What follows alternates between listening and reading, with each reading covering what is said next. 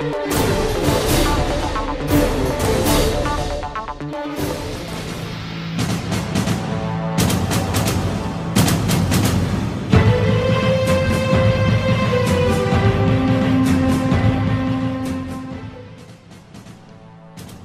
Jeftić, star 41 godinu, zvani Taći, likvidiran je 22. januara 1999. godine u kafiću Grinet u Ćupriji.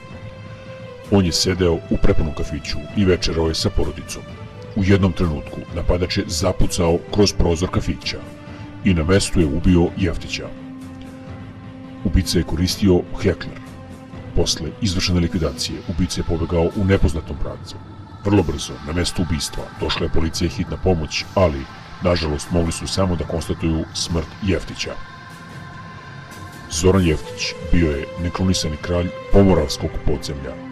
Bio je izuzetno oprezan, ali toga 22. januara se opustio i, nažalost, to su ubice iskoristile.